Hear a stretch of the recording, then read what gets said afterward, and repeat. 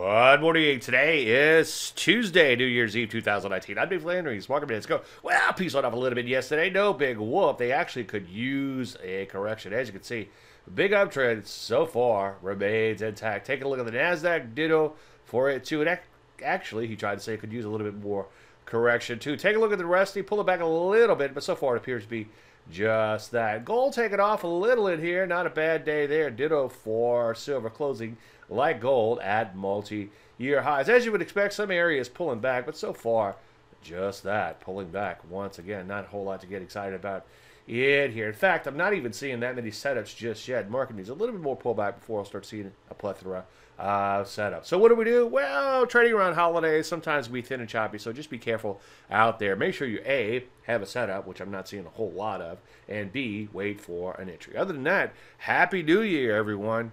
I'm Dave Landry, and you just heard a Market Minute.